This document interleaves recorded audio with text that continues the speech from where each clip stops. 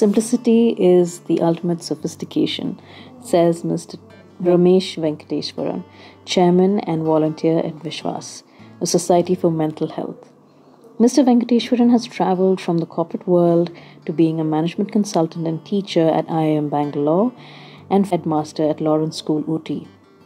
His book, The Happiness Trail, is an amalgamation of this journey and the appreciation for mental health services, which is very much needed today.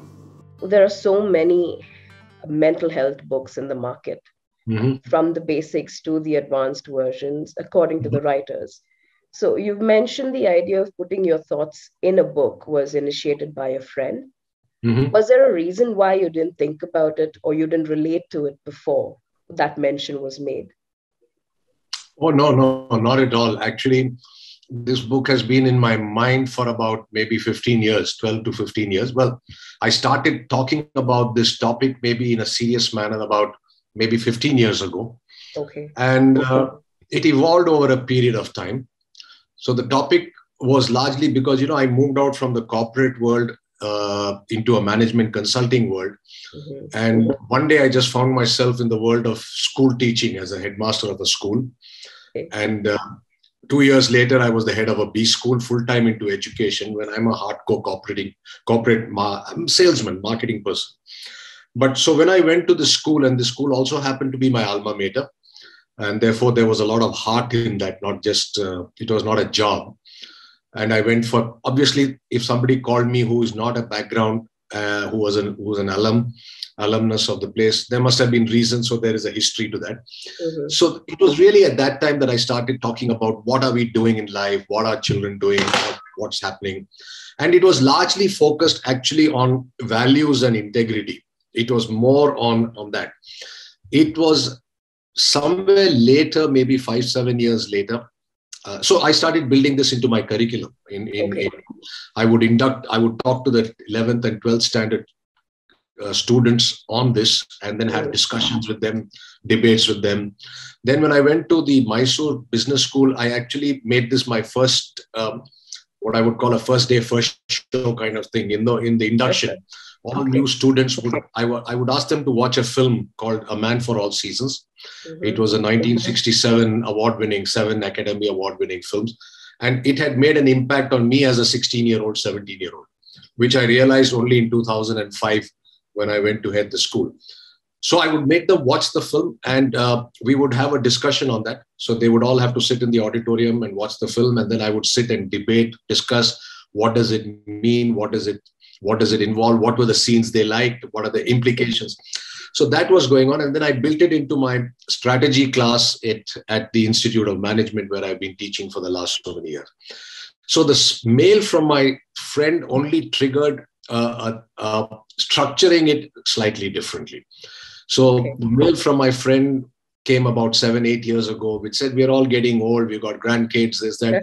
What, what are the five things you will leave behind for your grandchildren to lead a meaningful and and uh, then many of my students would come and tell me you know you got to write this into a book. You got to make a book out of this make a book out of it and i therefore that book idea which was being triggered by my my students mm-hmm. and my family and this idea from my friend sort of synthesized about maybe two three three years ago okay. and said okay great let me expand this and and create it so that's really where it went so it's not so much a mental health book. It's not even a self-help book. Somebody asked me, is it a self-help book? Um, I, I, I joked with that person to say it's actually a self-actualizing book. I had to actualize myself right. and write it. Uh, in the process, the, the feedback has been extremely positive, and I, I, I, I'm a double whammy winner, winner in that in some and way. I, I, if I may, I absolutely enjoyed reading the book. And when you first suggested that I go ahead and get the book, um, and you said it's it's very it's a layman can understand it. It's very simple. I, I didn't know if maybe that's how simple it could be, but when I read it, I realized that you exactly said what the book would be. And it was so easy to self actualize with the book and relate to so many life instances. So, thank you so much for putting the book out. I always joke with people. You see, one of my, one of my, even in my strategy class, this is my mantra. So, at the end of my course, most students will say, the one single point I take away from this course. And for me, that is simplicity is the ultimate sophistication. It's extremely difficult to be simple. And I say, if you can keep it simple, you, you've achieved a lot. So, and the second thing I always tell my students jokingly is whatever I ask you to read, read it because you'll be damn sure that even I understand it. And if I can understand it, you will understand it. So I don't know how to make it more complex than that. Um, so in the in the third part of the book, uh, in part three of the book, there is stress, anxiety, dilemmas which have been discussed um, in simple ways, of course, which today is a way of life, unlike with our ancestors. And I, I believe that very strongly. Um, simplicity and decisiveness, like you just said, the sim- simple aspects of it can and can make things sophisticated. So simplicity and decisiveness are quite the challenge, you know, given the wide range of possibilities and opportunities described by the internet and the variety of articles, blogs, books that are being put out. So, how will, will a book like The Happiness Trail help? Okay, very, very, that's a very valid question. So, let me just put my, you actually, the first part of my book talks about stress, the large part talks about the dilemmas. I just sort of come back a full circle. Okay. I talk about stress. What's in fact, my first part is about what's happening in the world today. It's setting a context as to why the five eyes are relevant and important and so on. And your question is very valid. So, you know, um, how will this book help? So, th- this may be a slightly long answer because this is the context for the whole book. This is how the book got evolved over, over so many years. Uh, one of the things I say, and I have not put it in the book, but I, I use this analogy in classes. Um, one of the things I say is that um, why is it relevant to the audience today? I mean, it's relevant at any time, but why is it more relevant to an audience of anywhere between below 40, 45 years old? And let's say I, anybody above 20 might read this book, 18 to 20. I mean, I don't expect anybody to go to a bookshop and buy this book. I mean, you know, it's very interesting. Uh, today's Times of India, yesterday's Times of India, I'll send this to you. Yesterday's Times of India actually says happiness is being made a subject to be taught in Madhya Pradesh schools. It's a it's a newspaper headline piece. Wow. So so it, it's it's interesting. So somebody said they must have read your book and decided to put it into the syllabus. That's that's very flattering. very flattering. But let's look at what's happening today. I'm comparing, let's say, me with you. Right? Mm-hmm. Let's say your generation and one little younger to you. Let's say. Uh, see, we, I like to use the analogy of life being a journey, you're flowing in a stream. And you, you start somewhere and you end somewhere. Now, when we took at my life, your parents' life, maybe your grandparents' life, our journey was on a stream which was a very gently flowing stream. Uh, right. the, the stream flowed, that there was no current. You got into a boat, you moved on. unlikely that you could go wrong on that journey. You know, it'll meander over somewhere. The water was shallow, six inches. You won't drown, you won't capsize, you hit some little bit, and then you move on. You know, the point I'm trying to make is the pace of life that we led, the way we led life was amazingly uncomplicated and simple. Mm. And therefore, whatever we did, we couldn't go too wrong in it. Right. By and large, you get where you want to go today i say that you are you're a generation which is moving into what i call whitewater rafting and rapids and, and, and things like that yeah. so you get onto a boat you better have the skills you better have a strategy you better know what you're doing because one of two three things can happen. One is you capsize and fall into the water. You're finished. Mm-hmm. or you are navigating yourself and then you go and crash against a bank and then you wonder what am i doing over here? And you go over a waterfall and that's the end. The point I'm trying to make is today's life journey needs a lot more of thinking and planning and and and introspection if you want to call it so and therefore i feel that we need to take stock of ourselves far more than people like who are let's say 60 plus the people who are who born in the 50s and the 60s uh, nothing could happen that could substantially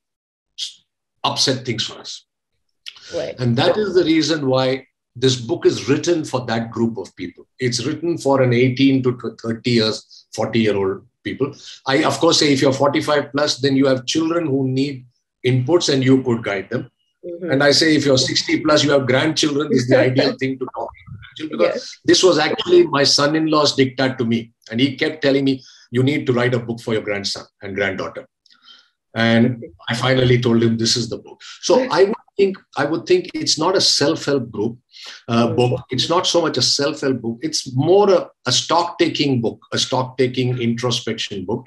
So that is why, I, if in the first part of the book, I talk so much about stress, social media, what's happening, what's not happening, the pressure to win, the pressure to conform, the pressure to perform.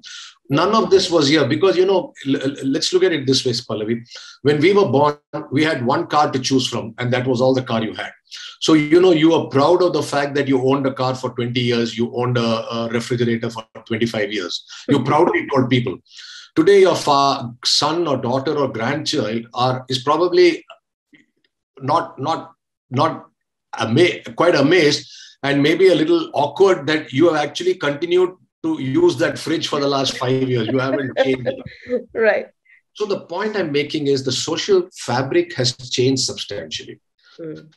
And therefore, today, I think when you're moving ahead in life, you need to give it a lot more thought than what we needed to give. And, and that was really the content. The second, third part, I can come to it separately if you we can talk about it. The dilemmas, it leads from the first part right. to saying, because of all this, you are in a fix. You are you you'll face a lot of crossroads. Right.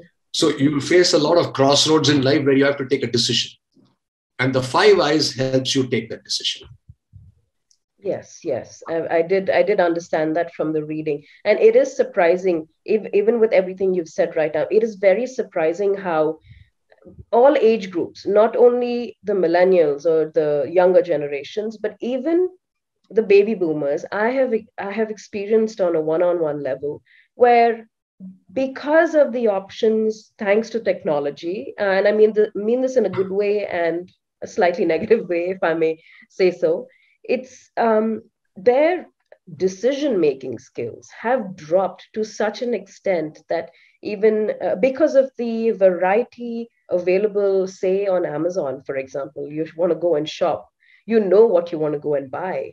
Uh, but once you look at the screen, you're just lost. You have no clarity, and you want to think about maybe this is not what I wanted to buy. Maybe something as something as simple as that. And it is surprising that we're at that stage right now in 2022. And I, it's kind of um, nerve wracking to imagine what what will be in in such simple matters. Um, but there, the your book really really helps. You know, um, bring bringing perspective into you know a layman layman's thought process of a, a daily day-to-day lifestyle.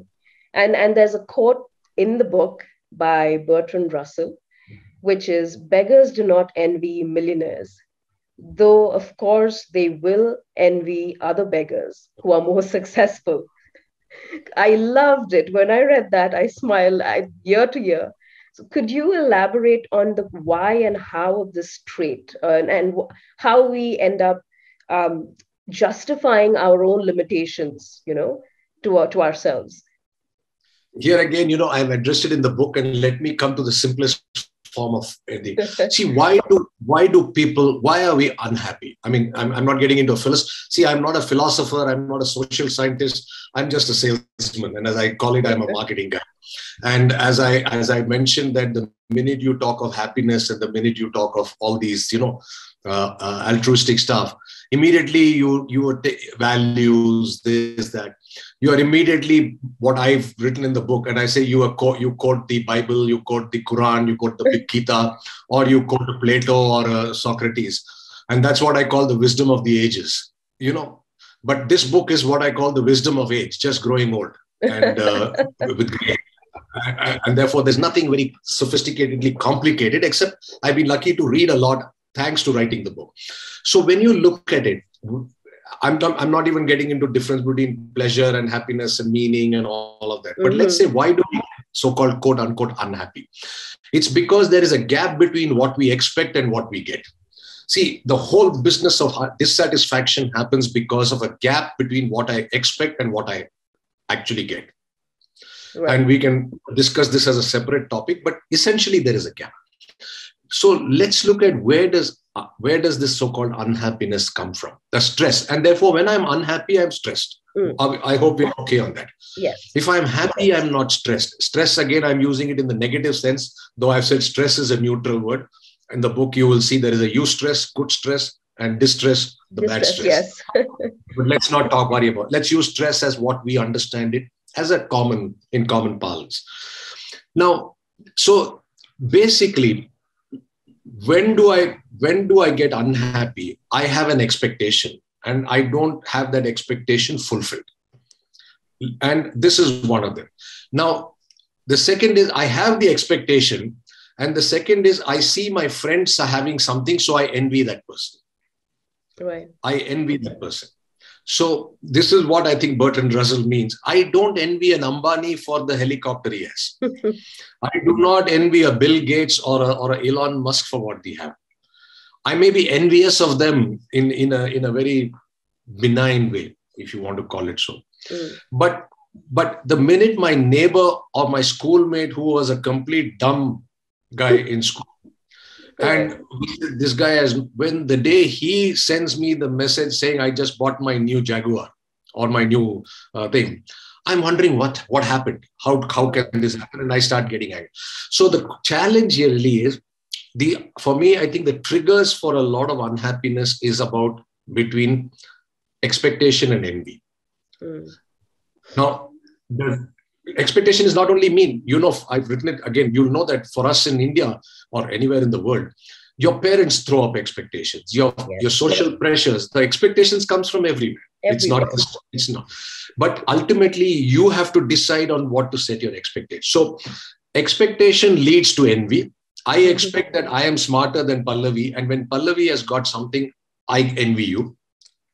Or I envy you, and that goes to set my expectations.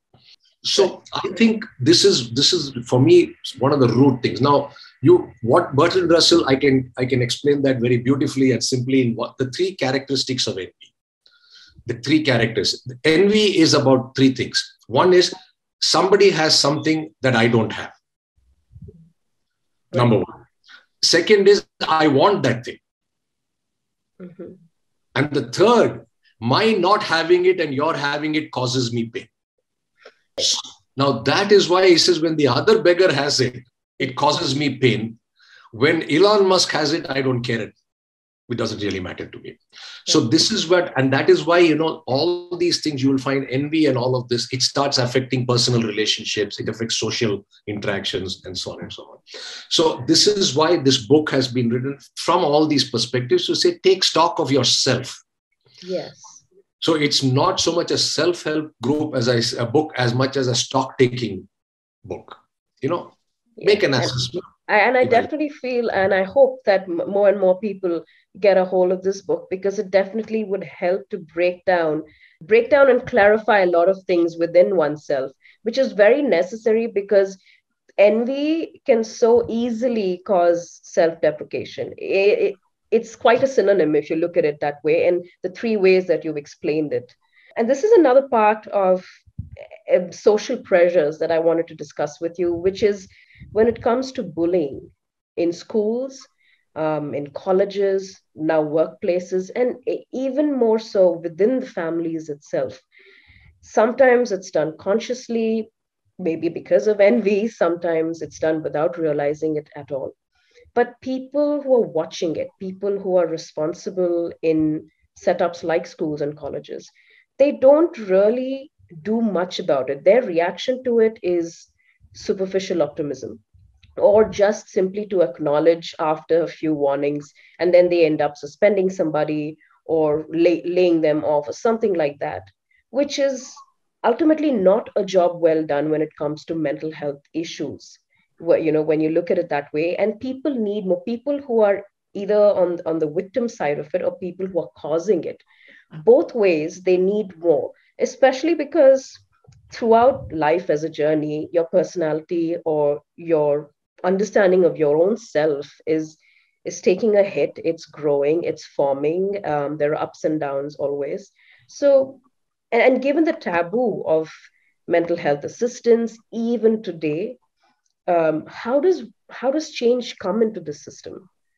can we expect any change at all uh, to come in or are we just going to keep trying? Let me, let me try and break it up into two parts. One is about the mental uh, the, the, the, the school and the uh, schools and colleges and the bullying part of it. Mm-hmm. the second is about acknowledging mental uh, the need for mental he- health help. Let's put it that way. Okay. you know because that could be for a variety of reasons not just linked to bullying and uh, ragging and all of that. Right. It's a that's a whole lot of subject.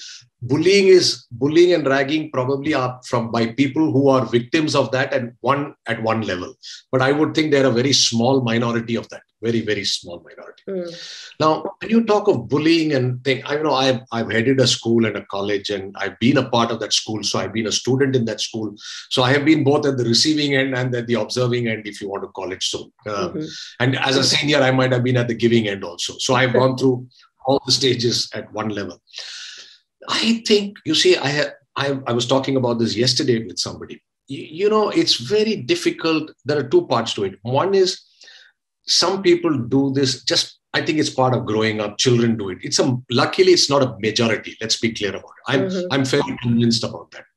Some people are just naturally vindictive and and uh, you know uh, abusive. Let's put it that way.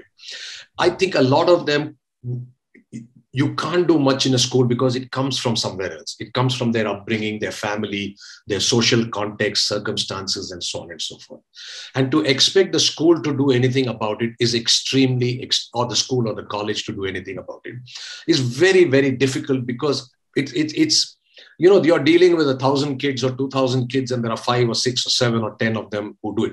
I don't think the percentages are much more than that, to be honest with you. I don't think so even in my time with my classmates, we would know three or four guys who would have been bullies when we were young, and I was in the, the same residential school. So I'm saying, I knew we knew that these were the four or five people, seniors who were terrible. We knew that these 15 people were outstandingly nice people, were the same role that they could have played. So I think colleges and schools have a challenge in that they can only do so much and not more than that because that's all they have access to having said that it's again about being it's it's about a way of doing it. Now when i went to lawrence school because of my counseling background because of my alumni connection because of my school connection and the little bit of wisdom i had gathered over the years i learned one thing and knowledge of a boarding school. I told my teachers very clearly that if you see errant devious deviant behavior do not punish the kid. I would like to first talk to the student so the right. only one thing I have learned over 30 years of counseling is every everybody behaves in a way for which there is some cause. Yes. We may not know the cause, we may not be able to identify the cause, we may not have control over the cause. But we do know that nobody behaves randomly. Right. It could be childhood, it could be this, it could be that, it could be abusive parents, it could be whatever it may be. So I was lucky I was able to do that to some extent.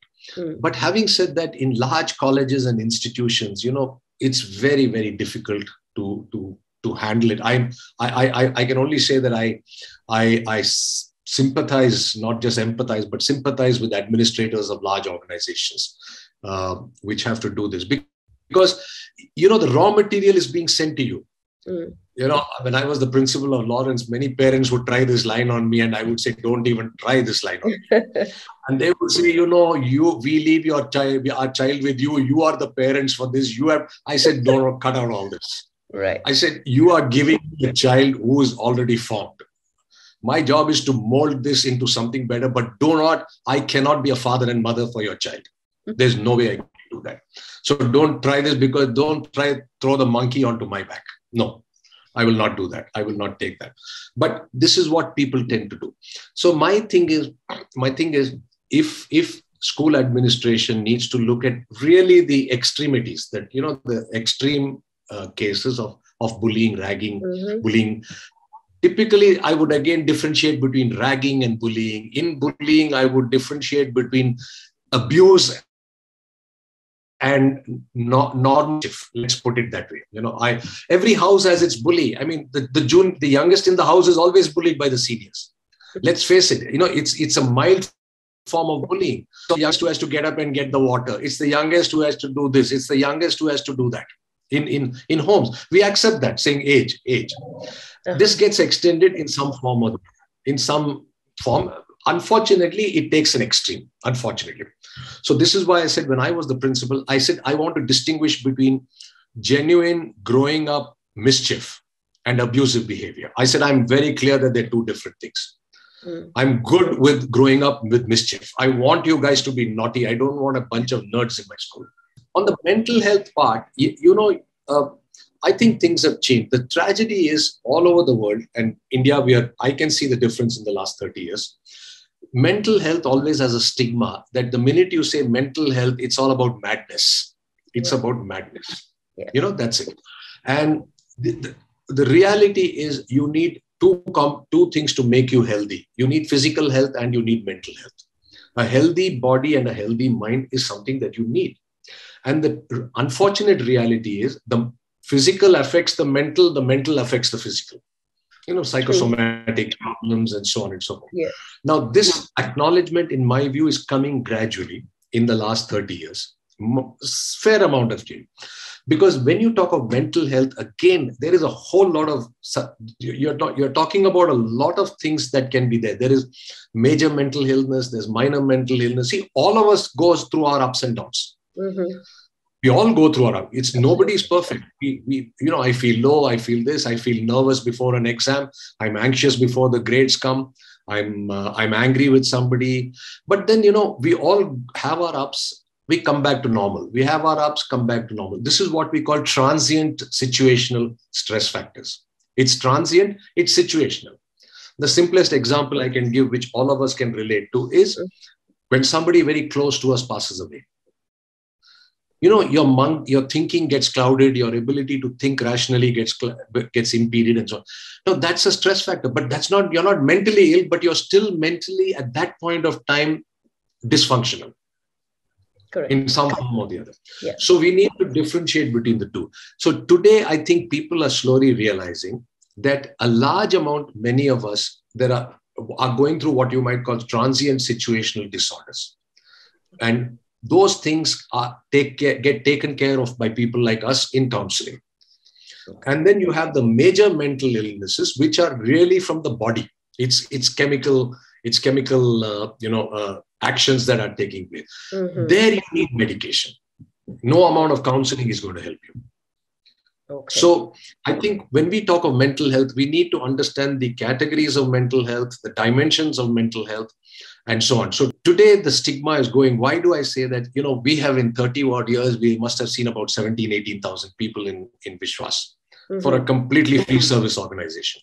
We have never charged a rupee in, in 31 years. We are all volunteers. We have never been paid a rupee in 31 years.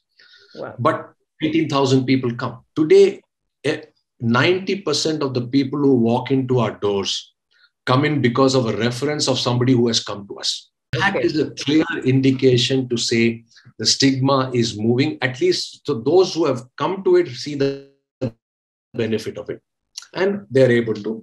Maybe we still have a long way to go. Yeah but sure. slowly and steadily it is sort of breaking I down uh, the walls of it. That's yes. wonderful. Before we go uh, this has been a wonderful talk and i definitely want to have maybe a, a second session of this. But before we go today I'd like to read uh, an, an excerpt from your first chapter in the book. It says here in their continuous anxiety to get the best opportunities for their children at various stages of their growing up, parents experience high levels of anxiety. And this anxiety naturally gets transferred to their children who are often on journeys, not necessarily of their own making, but those decided by the parents. So I read this and the rest of the paragraph once. I read this for the second time and then for the third time. Mm-hmm. Nowadays, younger couples choose not to have children or, or are open to um, surrogacy and adoption. So, do you think that maybe this these traits of parenthood could uh, be positively influenced by these changes? I don't. I, I, am again, you know, my my disclaimer is I'm not a social scientist. I personally don't think so. I personally don't think so. I think I think it's just that the way things have changed. Again, if you look at it, uh, uh, I, I can see this relating to you know my my my peers, my life, my own personal life, and so on. What's happening today is one is a sense of independence, a sense mm. of not wanting to be crowded by responsibilities. Right. So there are many, many people who say, I, we don't want children. We don't. In fact, what surprises me, Pallavi, is why people get married in this current generation, to be honest with you. I've asked a lot of people that. They don't have an answer. I've asked a lot of youngsters that. And funnily, they don't have an answer. They just smile it off.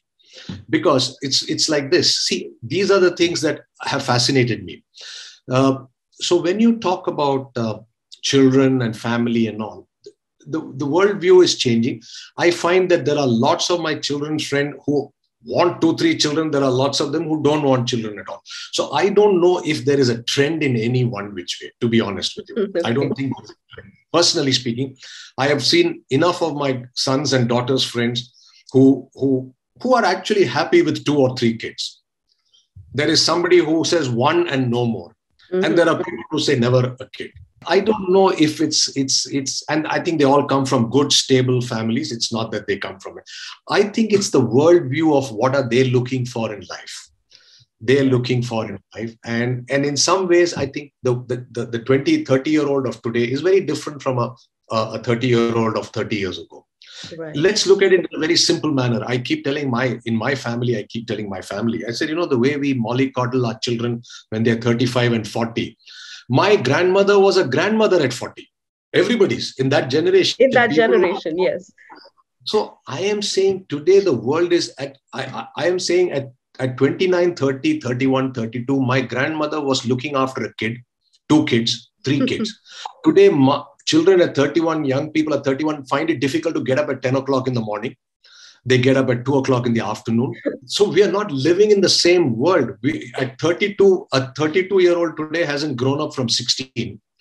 And a 32 of 35 or 60 years ago, God, the kind of responsibility that he or she was taking on their shoulder was huge. Huge. You know? So yes. I think, so therefore, I was, we, we keep talking about this amount. The generation today has the luxury of doing things and not worrying about it. You know, and so, choosing the amount of responsibility they would want exactly. to take in their lives. Exactly. Right. exactly. And i think many many of them i don't know if this is true but you know this is an old man's hypothesis that many of them today so i asked this question when two people are living in for three four five years i've asked a lot of my young friends on this question and they suddenly decide to get married. I said why would you want to do something like this? Right. it doesn't make sense to me. It actually doesn't make sense to me I would only make one observation on what what I it for me it really doesn't matter whether one gets married or doesn't get married, you have a children or don't get children or not. My book is all about think about it and do something after thinking. That's all. It will not happen naturally because our stream just let us flow.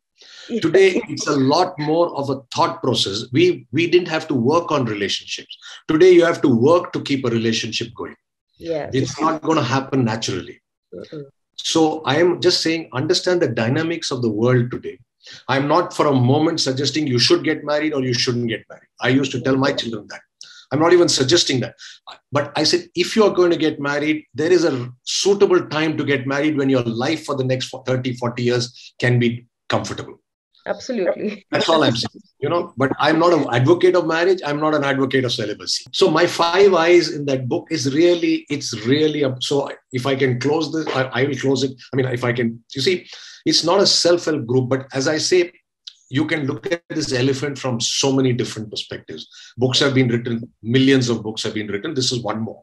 But this is for me a very simple thing. As I said, it's a GPS a GPS. And again, if you read the book, you'll know that, you know, we are all actually, why are we doing the rat race? Because we want to be successful, because we know success equal to happiness, but ha- success is not equal to happiness. Equal to happiness. Is we have yes. seen it.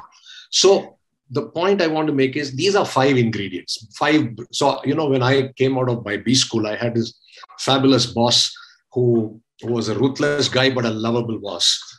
One day in one of my, I just come out of school, B school, and thought I was the God's gift to mankind. and he wanted a report written. And I said, Sir, you know, it'll take me some time and this and that. He says, Wait a minute, He says, Don't give me all this. He's a BA from somewhere. and then he tells me, He says, You know, you're like a chaatwala. We are all like chaatwalas. So uh, I said, What do you mean by chaatwala? He says, Let me explain. He says, When you go to a chaatwala, when he gives you a menu, how many ingredients do you have? How many menu items do you have?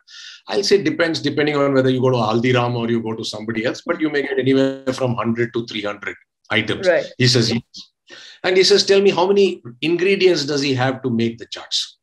I would say about eight, 10 major ingredients. He says, mm-hmm. Exactly. He says, That's it. Life is about working with eight, 10 ingredients. And the chaatwala skill comes in is, is in only two things one is he knows what ingredient can do what and what it cannot do. And the second is how much of each ingredient to use in different recipes. so for me, the five eyes are these are broad areas you can work on. You decide which one is more or less for you, which one you want to work on, which one you don't want to work on. But for me, I uh, these five eyes you can't go wrong. And and therefore my last favorite one is it's like a Chyawanprash because a Chyawanprash, if you have, if you're lucky, it will do you good, but it will certainly not do you harm. That is the reason why I think today's generation needs to think through this a little more. Absolutely. Thank you so much for making time and doing this with me. And like I said, I definitely would like uh, for more sessions with you, but we will plan on that and work around your schedule. My first conversation with Mr. Venkateswaran was a casual one, but it brought clarity to my path with Kathaas, and I will always be grateful for that time he gave me that day. There's a lot more where that came from, and if you would like to connect with his team at Vishwas, you can email me at kathaas.podcast at gmail.com and we can take it from there. Our next episode is with a young, passionate, and determined founder Meghna Murthy, who has impacted many young lives with her work at Smitham. Coming to Kathaas, aside from connecting with changemakers from across the globe, we have regular episodes and blogs that get published. The links are available below. If you have a story to share, do email me or you can go to our website kathaas.com. And until next time, cheers to your happy place and spread the love.